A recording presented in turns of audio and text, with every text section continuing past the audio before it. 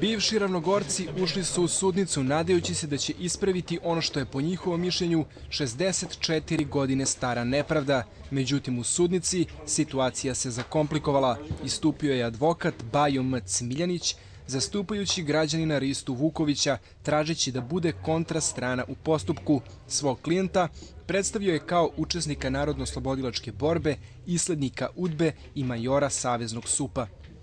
po našem sudu bilo ko ko je zainteresovan, a mora da ima odgovarajući interes, može da se pojavi samo u svojstvu svedoka i ništa više od toga.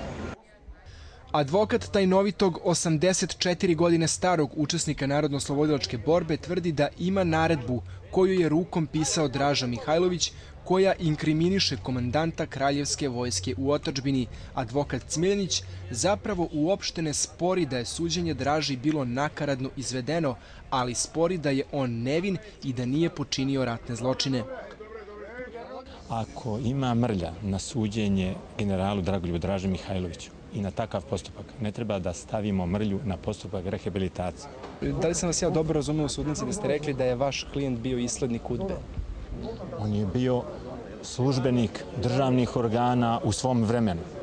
Neosuđivan, učesnik Nora, a to da li zvali UDBA, da li BIA, da li državna bezbednost, da li agencija za bezbednost, to je nebitno. Podnosioci zahteva osporili su pravo da se u procesu rehabilitacije koja po zakonu ne može imati drugu stranu, pojavi drugi učesnik koji bi iznosio kontraargumente u postupku, tražeći da se sud koncentriše na to da li je povređena pravna procedura, pravo na žalbu, na pozivanje svedoka, kao i na činjenicu da je Mihajlović streljan, a da mu presuda nije ni uručena.